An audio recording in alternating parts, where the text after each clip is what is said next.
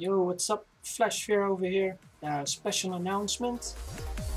My little brother, Raymond Picol, alias uh, Raytronoise, made his very first track on uh, my laptop.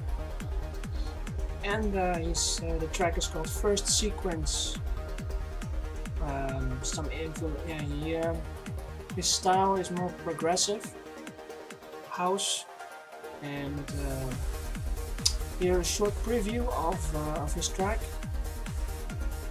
Two three minutes and I hope you like it. It's very first one so uh, for his uh, for social media you can twitter him to Ray Zandon.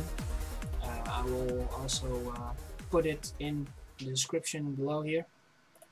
And I hope you enjoy it and cheers.